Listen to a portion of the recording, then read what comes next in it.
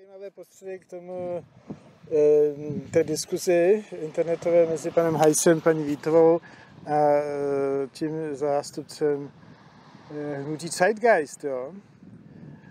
Je jasný, že takhle v rádiu a oni až nesedějí proti sobě. Že jo. Se to nedá takhle opravdu diskutovat. Kdyby byli u ohně někde a měli čas a opravdu zájem, tak by museli vyčistit takový ty okamžitý eh, jakoby eh, znaky toho, než když něco trkne. Jo. Tak třeba u pana toho uh, Fiblingera, toho se jmenuje Hnutí Zeitgeist, tam jsou takové slova jako lidé by měli myslet mimo kategorie. Za chvíli potom uh, ta demokracie, kterou myslíme my, ta skutečná, je tedy ta ideální demokracie. Jo? Takže tam prostě je vidět, že, že tam se prosazuje a když se eh, teda nakonec paní Vítová zeptá, tak my to myslíme pomocí těch voleb, že jo, jak to myslíte konkrétní vy, tak se začne zase eh, objevovat takový eh, vědecký pojem z, z kosmologie, jako horizont událostí, jo, který je prostě něco jako vstupem, před vstupem do té černé díly, díry se jako postuluje v té eh, kosmologii, že nastává horizont, eh, za kterým prostě se to všechno úplně změní, časov, kvality, prostorové kvality a tak dále. Čili to není odpověď na otázku. To, jak si vzpomínáte na moji přednášku retorický bičík, tak už by se musel chvět ten retorický bičík. Prostě. Za prvé, není možno myslet mezi, mezi kategorie. Jo? Myslet mimo kategorie je vlastně protimluv, ne? To je, to je eh, myšlení ve své podstatě je seřazování pojmů, jo? které jsou vlastně kategoriemi. Pojem je, když řeknu třeba strom, jo, tak to je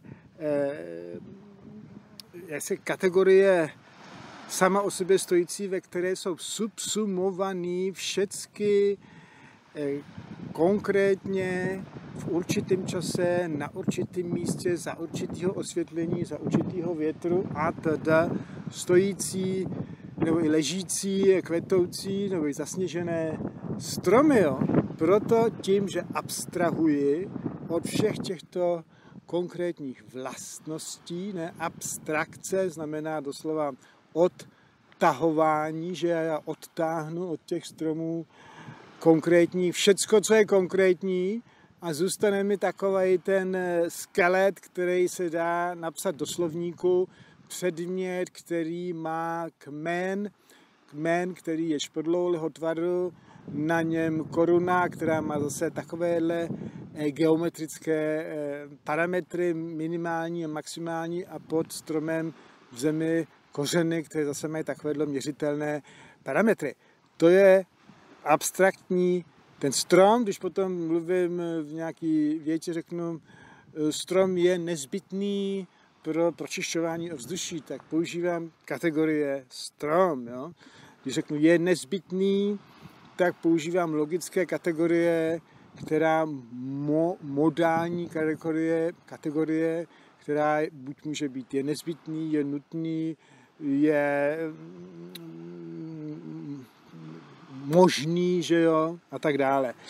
Takže to myslet mimo kategorie může jenom někdo, kdo je mystik, jo, kdo teda potom už nemyslí, kdo zří, že jo, nebo věřící, který prostě tuší, že jo, tušení, tušení horizontu událostí, že jo, a takovéhle věci, které jsou eh, vlastně neexistují ve své konkrétní podobě, Eh, se stávají prostě takovým jakoby, eh, jo,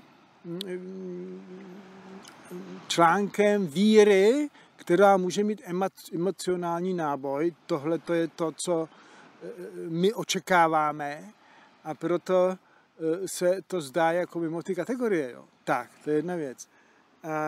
Takže myšlení mimo kategorie prostě nelze. Jo. Eh, dále, že ta demokracie, jak správně Heiss poznamenal, je, je počátkem toho v Řecku samozřejmě stojí na tom otrokářském řádu, kde jenom ta elita má právo hlasovat, že svobodní občané Aten a tak dále, to je jasný.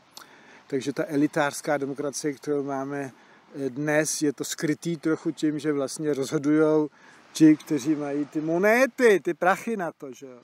Díky tomu tu moc, že jo. A když někdo prohlásí, že, že má vizi té skutečné demokracie a jedním dechem se musí opravit, protože ta skutečná je právě úplně jiná, tedy to je ta elitářská demokracie, tak z ní udá ideální demokracie. Že?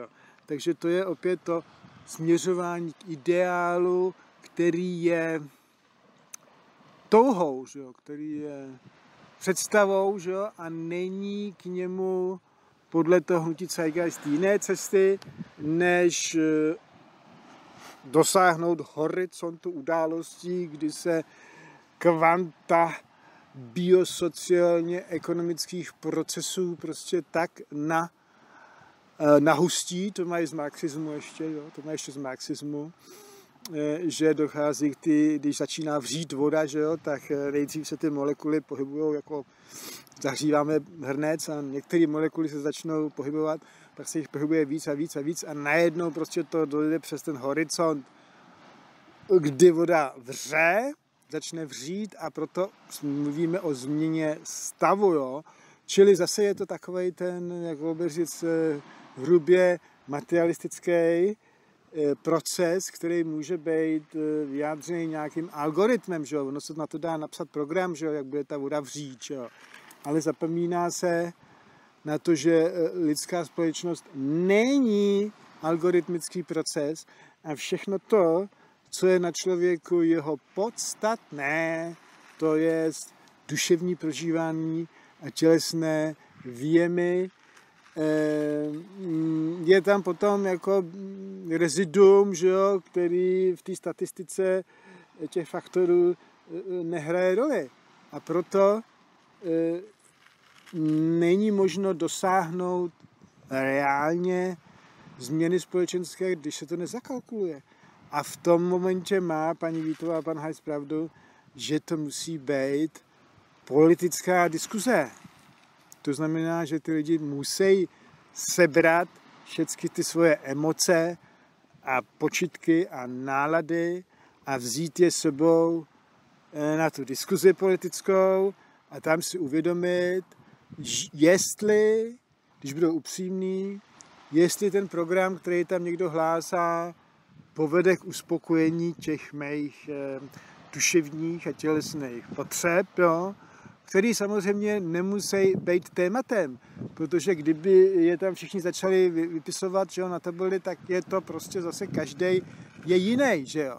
Tak ale tu soudnost musí ty občané mít, že dokážou z toho abstraktního programu politické strany, který musí samozřejmě mluvit za všechny takové případy, jestli tam je místo na to jejich, jo, naplnění jejich soukromých potřeb. Jo? A když dojdou k názoru, že ano, tak budou hlasovat za tuhle tu stranu, že jo? A když potom se dostane ta strana k politické moci a zjistí, že ona to nenaplňuje, že ty jejich potřeby nejsou uspokojený, tak okamžitě se musí hlásit a říct, já jsem vám dal hlas pro to, a vy jste to nenaplnili, tak uh, potom už musí být nějaký algoritmus, Eh, který zase má pan Hlávka dobře vypracovaný, to je ta průběžná demokracie. Jo? Prostě, že jakmile ty lidi zjistějí, konkrétní jednotlivci, že strany nenaplňuje jejich potřeby, tak je prostě odkliknou. Zrušej toho poslance. Musí to být na té lokální úrovni od toho nej, nejnižšího, od toho starosty, až po ten kraj a po, po ten po postupně stup, aby se to prostě nezhroutilo celý. Teprve když, eh, já nevím, deset krajských eh, zástupců je prostě vykliknutých, protože neplnějí ten slibovaný program, tak tam přijdou jiní, kteří potom můžou vykliknout toho o něco vejš, že jo. Protože kdyby lidi mohli ze spoda vykliknout toho nejvyššího, že jo, nebo ty hodně vysoko, tak by docházelo k neproveditelnosti jakýkoliv státní politiky, jo, jakýkoliv řízení že jo, obchodu, dopravy a zdravotnictví a tak dále. Jo. Takže tohle to musí být stupňovitý proces. Jo. OK. Tak. A to, že politika je, říkal pan Hajs, když ráno vstane, probudí se, dělá politiku. Tak on to myslí v tom, že se probudí někde v nějaký obci, že jo. Takže to, že nežije jako poustevník, anebo nežije v nějakém algoritmickém slonovinovém hradu, eh, kde si je jist tím, že za něj prostě chroustají ten svět nějaký genetický, biosociálně, eh, jako biosociální procesy, jo. Což eh, je docela možný, jo, že je tady taková ta teorie, že vlastně lidstvo je jenom součástí určitého, určité genové hry v uvozovkách, kterou hraje planeta Země, že, jo, že se míchá ty, míchá ty geny a rozvíjí se zvířecí druhy, rostlinný druhy a jde to dál a dál. No, ale to je jenom polovina té pravdy. E, proč to ta příroda dělá? Nebo eh, když se podíváme na ty kvality těch druhů, které na tom stromě života se urodili, jo, tak vidíme, že jsou stále, dalo by se říct, ty centrální nervové systémy jejich a ty orgány vnímání, že jsou stále vytříbenější. A ten rádius, eh,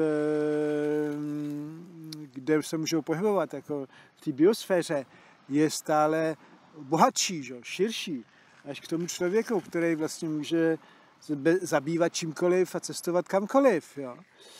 E, takže tam není jenom nějaký slepý algoritmus, který by byl utilitární, jakož, aby to bylo jako jednodušší, aby to bylo všechno rychlejší, nebo aby to bylo, mm, aby se to ustálilo na nějakým optimu, jo. Nejbrž je tam ta, ta nevyslovitelná jaksi touha v vozovkách, že jo, ty biosféry po hře s bohatstvím možností, jo. Takže e, v tomhle tom, proč jsem to říkal, že, že ta mm, politika tím, že se probudí v nějaký obci, že jo, tak to, jak e, si dělám tu snídani, nebo jak otevřu okno, jak říká pan Hayes, je výrazem on to možná má trošku posunutý, co je příčina, co je následek. Jo. Měl říct, že to, co dělám, když se probudíme otevřu okno, je následkem nějaké politiky, protože díky ty politice, která v tom státě je už řadu let, tak mě ty okna třeba vržou, že jo. A nebo je ten vzduch smradlavý, protože tam politicky se nepodařilo zabránit stavbě nějaký chemický továrny v blízkosti, jo. A tak dále. Takže to jsou následky. Samozřejmě není možný tím, že jako, to bylo jako magické. Magická politika byla taková, otevřu v okno a to takovým stylem, jo, normálně, že v morfogenetickém poli biosféry, biosféry aktivuju nějaký algoritmus, který, to je ten, ten, ten trik toho, to posedlost moderní komputerové generace takovýma filmama jako právě ten eh, efekt motýla, jo. Že prostě otevřu okno a za deset let prostě v Austrálii padne vláda, jo. tak to teda určitě ne, jsou to spíš výrazy, výrazy politiky. A když to okno otevřu a smrdí mi to a vrže mi to, tak musím okamžitě začít politicky jednat, abych to změnil. To znamená, musím jít, dát to do programu že budeme mít nevrzající okna, krásně namazaný a třeba dvou, dvou vrstevný, aby to na mě to nerušilo, že, aby se šetřila energie a, a pak se musí okamžitě začít dělat petice na zastavení takhle nezdravého výrobního procesu té chemičce. Tak ahoj.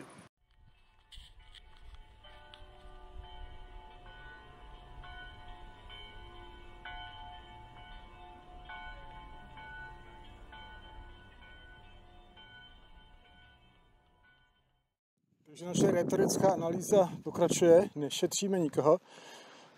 V tom samém pořadu pan Heiss eh, prohlásil takový, takovou jakoby, lidovou moudrost, podle které se řídí, že podle něho nejsou lidé hloupí nebo moudří, nebo pouze jsou lidé, kteří chtějí a nechtějí ve smyslu vyhledat si informace. Takže jako filozof musí člověk eh, se zeptat, tak eh, jaké jsou to domény, že jo? když eh, kvalifikujeme lidi, lidi jako hloupé anebo moudré, tak je to vlastně jaksi hodnotící kritérium um, kognitivní sféry, že jo? schopnost logicky přemýšlet se hodnotí jako, hm, bylo by se říct, logičnost nebo chytrost. Moudrost často znamená moudrost často znamená e, právě něco jiného, to znamená schopnost e, logicky myslet a ještě k tomu uvažovat jako emocionálně, že ta emocionální inteligence patří k moudrosti, ale tak v tom zápalu rozhovoru to prostě pan Heiss nemyslel. Myslel to prostě kognitivně, buď jsou hloupí, anebo jsou nehloupí, čili chytří, že jo. A to podle něj není pravda. Skutečnost je taková, že jsou lidi, kteří chtějí nebo nechtějí, znamená vyhledávat informace. Ale něco chtít nebo nechtít, to je kategorie jiná než kategorie kognitivní. To je kategorie volní, že jo. To je vůle, že jo. A ta e, funguje, nebo jak se projevuje se v člověku zcela jinak, že jo. Já můžu, e, to je nejjednoduše, e, vysvětlit logickým paradoxem, že třeba člověk nemůžeme chtít něco nechtít, že jo. No, jako dovím se od někoho, že prostě kouření je špatná věc, že by jsem to neměl chtít. Tak chci, abych nechtěl kouřit, že jo. To znamená ale, že vůbec eh, nemá to naprosto žádný vliv na to, že moje tělo začne avizovat nedostatek nikotínu a chuť na tu cigaretu, že jo, třeba, nebo na cokoliv jiného, že jo. A takže to chtění je vlastně kategorie, která je spojená s stavy těla, okay? a výrazem těchto stavů těla jsou tužby duše, že jo. Takže e, můžeme říct, když to posunu něco dál, že ty veškerý eh, hodnocení, že jo, a to je objev Nietzscheův, že jo, který jsou potom jako přetažený přes ty naše stavy duše, jo, jsou už prostě sekundární, reagují na to, reagují na to. A zajímavý, že jo, teď jsem si vlastně vyrážel ten svůj argument, že jo. no to se může taky stát. Filozof musí být otevřen, když mluví když myslí aktuálně, no tak se nezastavuje před ničím. Čili je, vlastně musíme dát panu Hajsovi za pravdu, protože skutečnost je taková, že lidi jsou skutečně ti, kteří chtějí nebo nechtějí, že jo, a ta jejich kognitivní složka je pouze jako odrazem nebo dalším provedením, vyšperkováním nebo přepsáním v závislosti na tom, jak se chtějí vypadat že jo, před sebou nebo před společností, jsou to prostě potom morální nebo ideologické eh, výstupy, že jo. Takže vlastně je to pravda. Lidi jsou takoví, kteří mají určitou fyziologii, že jo, určitou genetiku, určitý stav těla, zdraví, nezdraví a tak dále. Výsledkem toho jsou určitý stavy duše, nebo korelátem, ne výsledkem, korelátem jsou určitý stavy duše, který si potom vynutí vysvětlení buď sami pro sebe, nebo pro ostatní. Čili kde je ten zakopaný pes, který mě tam jako eh, jsem nastražil ty filozofické uši, v tom, co jsem původně sám opravil, no, že tam bylo řečeno, nejsou lidé hloupí a moudří, tím se prostě posunula ta kategorie eh, čistě z kognitivního eh, hodnocení inteligence do té do toho, kde jsem prohlásil, že moudrost je vlastně už spojením schopnosti inteligence, logické a inteligence jakoby, nebo zkušenosti emocionální. Že? Čili jak by to bylo ideální případ, kdyby, kde je ten problém?